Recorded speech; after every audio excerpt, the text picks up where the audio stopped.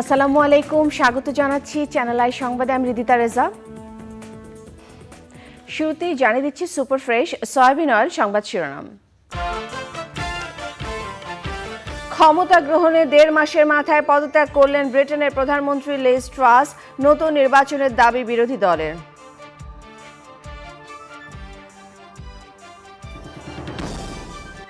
বিমানবন্দরে যাত্রীদের লাগেজ কেটে মূল্যবান সামগ্রী চুরির অভিযোগ থামছে না। প্রতিকার চাইতে গেলেও পড়তে হয় ভোগান্তিতে।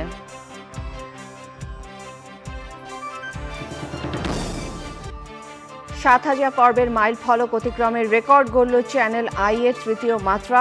তৃতীয় মাত্রা কাজ করা নামে নতুন অনুষ্ঠানে ঘোষণা। এবং টি টোয়েন্টি বিশ্বকাপের সুপার টুয়েলভে শ্রীলঙ্কা ও নেদারল্যান্ডস চব্বিশে অক্টোবর হোভার্টে নেদারল্যান্ডসের বিপক্ষে বাংলাদেশের প্রথম ম্যাচ।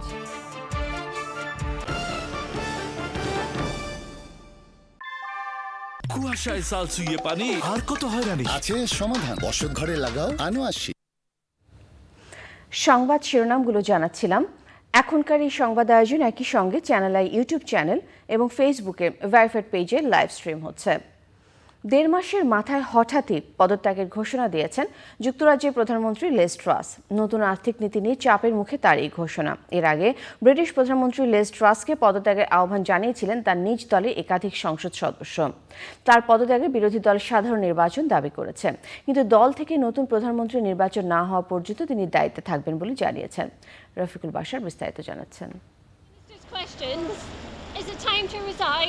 দেশকে নানা সংকট থেকে মুক্ত করার প্রতিশ্রুতি নিয়ে যুক্তরাজ্যের প্রধানমন্ত্রী হয়েছিলেন লিস ট্রাস।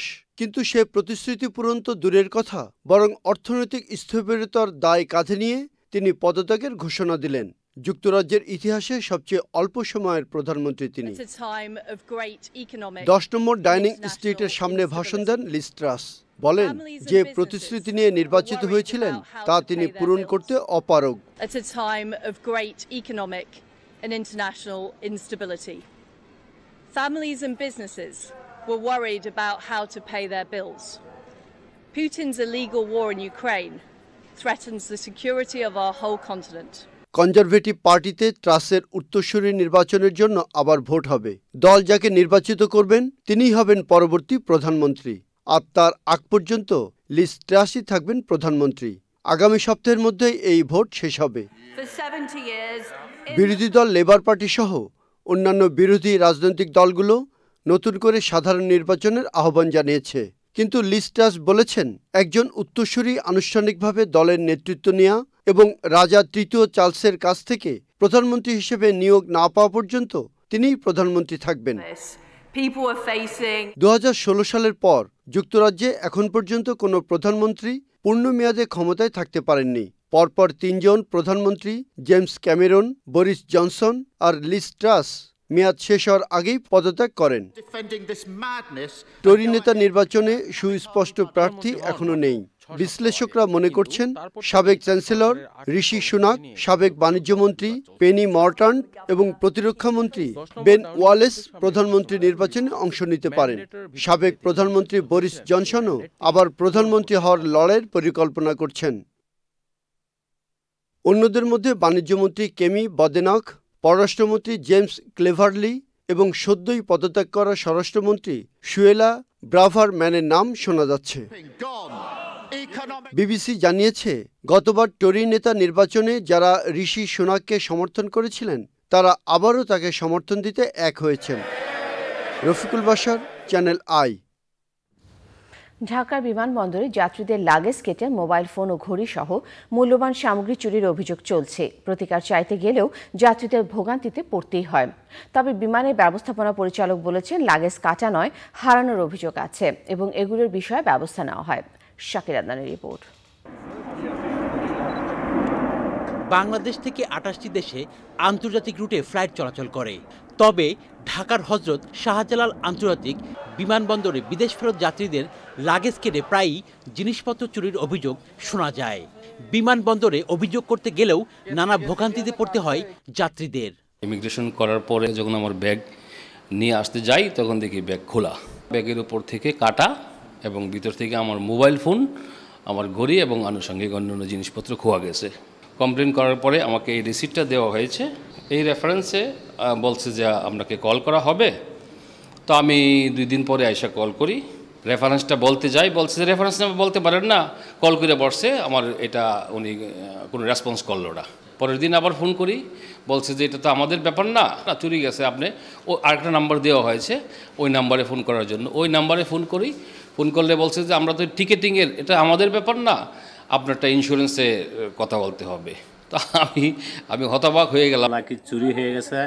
ওমানের থেকে চারটা লাকি আনছি স্বর্ণগণ আনছি সব চুরি হয়ে গেছে। আমার আশ্বাস দিতেছে দিব। এখনও দিব এখনও তো কোনো খবর পাইতেছি না। ফ্রেন্ড সার্কেলে মিসিং হয়েছে মানে এখানে ক্লেম করে গেছে তিন চার দিন পরে এসে পাইছে এরকম রেকর্ড আছে। গত নয় মাসে আন্তর্জাতিক রুটে তেরো হাজার একশো বত্রিশটি ফ্লাইট চলাচল করেছে। ওই সব ফ্লাইটে বিশ লাখ একানব্বই হাজার সাতশো তেতাল্লিশ জন যাত্রী পরিবহন হয়েছে। লাগেজ ছিল আটচল্লিশ লাখ এগারো হাজার পাঁচটি। লাগেজ হারানোর অভিযোগ ছিল ছেচল্লিশ হাজার দুশো আটানব্বইটি। লাগেজ হারানোর অভিযোগে চৌত্রিশ হাজার নয়শো সত্তর জন যাত্রীর লাগেজ বাড়িতে পৌঁছে দেওয়া হয়েছে। মালামাল ক্ষতিগ্রস্ত হওয়ায় ক্ষতিপূরণ দেওয়া হয়েছে তিনশো আটাত্তর জনকে। কোনো সুযোগই নেই, কারণ এয়ারপোর্টের ভিতরে আপনার লাগেজ তো স্টোর করে রাখা হয় না। আপনি যখন মানে ইনকামিং লাগেজের ক্ষেত্রে আপনার স্টোর করার কোনো সুযোগ নেই। কারণ প্লেন থেকে নামবে ট্রলিতে উঠবে কনভেয়ার বেল্টে চলে আসবে। এক্ষেত্রে যে কোনো এয়ারলাইনে যদি আপনার মানে কোনো রকম গাফিলতি করে বা দায়িত্বহীনতা করে, আমাদের এয়ারপোর্টে ম্যাজিস্ট্রেট আছে, সেখানেও সে কমপ্লেন করতে পারে। অভিযোগ পাই আমরা অবশ্যই সিসি ফুটেজ চেক করি এবং সিসি ফুটেজ চেক করলে অভিযোগ পাওয়া গেলে তো মানে চাকরি তো থাকবেই না আপনার। এই বিষয়ে আমরা খুবই স্ট্রং ব্যবস্থা নিই। বাট আমি লাগেজ কাটার কোনো কেস পাই না আমার। বিভিন্ন হয়রানির বিরুদ্ধে ব্যবস্থা নিয়ে বিমানবন্দরে আন্তর্জাতিক মানের সেবা নিশ্চিত হবে বলে আশা করছেন যাত্রীরা। শাকির আদনান চ্যানেল আই ঢাকা সাত হাজার পর্বের মাইল ফলক অতিক্রম করে রেকর্ড গড়েছে দেশের টেলিভিশন ইতিহাসের প্রথম টক শো তৃতীয় মাত্রা। বড় এই অর্জন উদযাপন করতে ঢাকা শেরাটন হোটেলে আয়োজিত অনুষ্ঠানে তৃতীয় মাত্রার কাছে বরাবরের মতো নিরপেক্ষ অবস্থান প্রত্যাশা করেন অতিথিরা। আর চ্যানেল আই পরিবারও সততা, নিষ্ঠার অরাজনৈতিক অবস্থানে থেকে তৃতীয় মাত্রা চালিয়ে যাওয়ার পাশাপাশি তৃতীয় মাত্রা কাজ করা নামে নতুন অনুষ্ঠানে ঘোষণা দেয়। পান্থ জানাচ্ছেন বিস্তারিত। তৃতীয় মাত্রায় নতুন সংযোগ দেশের টেলিভিশন ইতিহাসের অন্যতম জনপ্রিয় টকশো তৃতীয় মাত্রা। নানা প্রতিকূলতা আর কঠিন সময়ের মধ্যেও প্রায় দুই দশকের বেশি সময় ধরে কোনো বিরতি ছাড়া পার করেছে সাত হাজার পর্বের মাইল ফলক। সেই অর্জন উদযাপনে যোগ দেন বিভিন্ন সময়ে তৃতীয় মাত্রার অতিথিরা যেখানে ছিলেন শিক্ষক রাজনীতিবিদ অর্থনীতিবিদ কূটনীতিক ব্যবসায়ী থেকে শুরু করে সব পেশার প্রতিনিধিরা। ঢাকার শেরাটন হোটেলে আয়োজিত অনুষ্ঠানে তৃতীয় মাত্রার পেছনের গল্প শুনিয়ে ভবিষ্যৎ পরিকল্পনার কথাও জানিয়ে দেন চ্যানেল আই কর্তৃপক্ষ। বাংলাদেশের রাজনীতির কথা বলেন, সমাজের বিভিন্ন স্তরে মানুষের কথা বলেন, এই মুহূর্তে নিঃসন্দেহে সবচেয়ে বড় আর্কাইভ চ্যানেল আয়ের তৃতীয় মাত্রার আর্কাইভ সে আর্কাইভটি আমরা যেন আরও অনেক বছর সংরক্ষণ করতে পারি, আপনাদের সম্মান জানাতে পারি, শ্রদ্ধা জানাতে পারি, এটা আমাদের আশা। অনেক কিছু বলার থাকে, কিন্তু সাত হাজার পর্ব এসে আসলে আপনারা সবাই তৃতীয় মাত্রার এই অনুষ্ঠানের এক একটি পিলার স্তম্ভ। সুতরাং আপনাদের সবাইকে অনেক ধন্যবাদ। বাংলাদেশে তো বটেই। অন্য কোনো জায়গায় যদি এইগুলো আমরা পরিপূর্ণ করি, তাহলে দেখব তৃতীয় মাত্রা একমাত্র অনুষ্ঠান, যেটা সাত হাজার পর্ব পার হচ্ছে। সুতরাং জিল্লুরকে আমার মনে হয় একটা স্বীকৃতি দেওয়া প্রয়োজন। আপনাদের সবাইকে উপস্থিত একটা অনেক বড় হাততালি দিয়ে জিল্লুরকে আমরা একটা ছোট্ট প্রেস দিতে চাই একই সাথে আমরা আরেকটা ঘোষণা চ্যানেলের পক্ষ থেকে দিতে চাই যে তৃতীয় মাত্রার প্রতি মাসে জিল্লুর যদি একটি অনুষ্ঠান শুরু করেন চ্যানেল আয়ের পক্ষ থেকে তৃতীয় মাত্রার হয়ে সেটা কেমন হয় সেটারও মতামত আজকে আপনাদের কাছে চাইব। অনুষ্ঠানটা এমন হতে পারে। তৃতীয় মাত্রায় নতুন সংযোজন, তৃতীয় মাত্রার কাঠগড়া, এখন থেকে প্রতি মাসে একটি। পরে একে একে অনুষ্ঠানটি সম্পর্কে নিজেদের অভিজ্ঞতার কথা শোনান অতিথিরাও In fact, for an American ambassador, and I think for many ambassadors um, here, that this show is part of our rite of passage. Uh, we first arrive here, we call on the Honorable Foreign Minister, we get credentialed by the President, we have a courtesy call with the Honorable Prime Minister, and we get grilled by Zilor. And I think it's a tremendous uh, rite of passage that all of my predecessors have done. তো আজকে সেই তৃতীয় মাত্রার মতো বহু talk show television এখন হচ্ছে কিন্তু তৃতীয় মাত্রার যে মানে অনুষ্ঠানের যে মাত্রাটা রয়েছে সেটা কিন্তু অতিক্রম করা সম্ভব হয়নি কারও পক্ষেই একটি টকশো কীভাবে দেশের মানুষের কথা বলার প্ল্যাটফর্ম হয়ে উঠেছে সেই কথা জানান অতিথিরা beauty in Jillu's programme Tritiyo Matra he allows you to talk. In many other programs, it is the moderator who talks. But in your program, the beauty is you allowed all your guests to talk. আমরা channel আইয়ের এই তৃতীয় মাত্রা থেকেই কথা বলতে শিখেছি কিছুটা টেলিভিশন টক শোগুলোতে আমরা সবসময় প্রত্যাশা করব যে কথা বলার জন্য যেন এখানে কাউকে কোথাও হারিয়ে যেতে না হয়। Make all the things possible all the political discussions were done there and as mister Faridur Reza সাদুগর has said that it is a it could act as a good archive for the history of the Bangladesh in different sphere of the time তৃতীয় মাত্রার কাছে নিজেদের চাওয়া পাওয়া আর দাবিও ছিল অনুষ্ঠানে যোগ দেয়া অতিথিদের। Please keep up the good work and I think Tritiyo Matra has established its credibility in society And I know how much discipline you need in order to organize such a talk show, and how much time you need to spend in order to think of the substance you want to put it in, and how much courage you need in order to go- really survive after doing a very heated talk show and ha- deal with the implications. গণমাধ্যমে গণমানুষের কথা তুলে ধরতে তৃতীয় মাত্রার এই উদ্যোগ অব্যাহত রাখার আহ্বান জানান বক্তারা I was a regular guest of this program 15 years ago uh, during that political regime where nowhere to talk. So Zillur gave me the platform. So I'm very, very grateful to Zillur for giving us the platform to speak different than the government. Zillur and Channel I for this wonderful program that we see. I hope eh, he has done 7,000 episodes. He'll do more than 700,000 episodes. অনুষ্ঠানে Impress Telefilm channel আয়ের পরিচালকবর্গ এবং তাদের পরিবারের সদস্যরা উপস্থিত ছিলেন And I'm happy and I'm thankful to all of them, all the political forces, all the political power in this country. পান্থর রহমান চ্যানেল আই ঢাকা এবারে new care baby diaper T twenty world cup update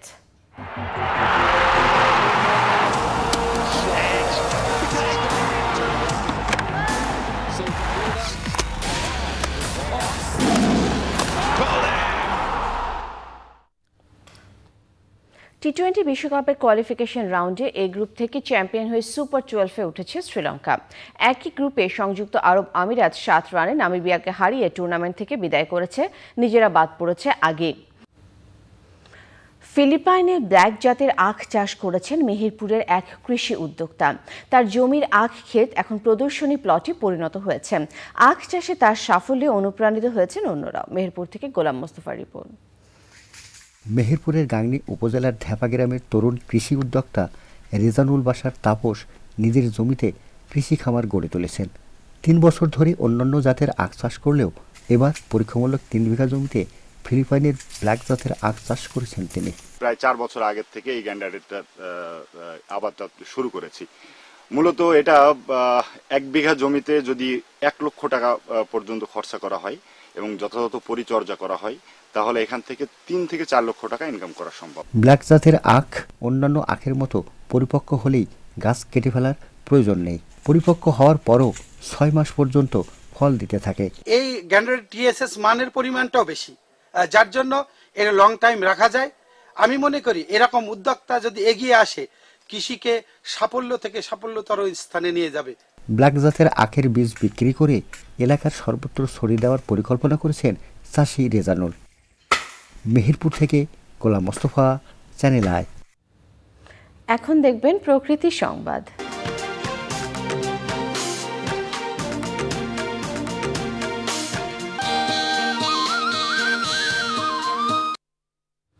প্রাকৃতিক দুর্যোগ থেকে রক্ষা পেতে টাঙ্গাইলের rail লাইনের দুই পাশে পরিবেশ বান্ধব তালের বীজ রোপণ করেছে স্বেচ্ছাসেবী সংগঠন বাতিঘর আদর্শ পাঠাগার। সামাজিক দায়বদ্ধতা থেকেই এমন উদ্যোগ জানিয়েছে তারা। টাঙ্গাইল থেকে মুসলিম উদ্দিন আহমেদের রিপোর্ট। টাঙ্গাইলে পিছিয়ে পড়া জনগোষ্ঠীর জন্য দীর্ঘদিন ধরে কাজ করে যাচ্ছে স্বেচ্ছাসেবী সংগঠন বাতিগড় আদর্শ পাঠাগার। এরই ধারাবাহিকতায় রেল লাইনের দুপাশের পরিত্যক্ত জমিতে তালগাছের চারা রোপণের উদ্যোগ নিয়েছে তারা। তালবীজ রোপণের মাধ্যমে পরিবেশের ভারসাম্য ফিরে আসবে বলে আশা করছেন উদ্যোক্তারা। আমাদের উদ্দেশ্য হচ্ছে প্রকৃতির যে একটা সুরক্ষা মানে বজ্রপাত থেকে রক্ষা পাওয়াটা এটা আমাদের একটা এক ধরনের উদ্যোগ। তো আমার খুব ভালো লাগতেছে। আর কাজ করতে আমার খুব আনন্দ উৎফুল্ল আমি নিজেও করতেছি। রেল লাইনের পাশে যে খালি জায়গাগুলা ওইগুলাতে তাল বীজ বপন করছি। এর কারণ হচ্ছে সাম্প্রতিক সময়ে যে বজ্রপাত হচ্ছে এগুলো প্রতিরোধ করার জন্য। আমরা বাতিঘর আদর্শ পাঠাগারের পক্ষ থেকে প্রতি বছর এরকম বীজ বপন করে থাকি।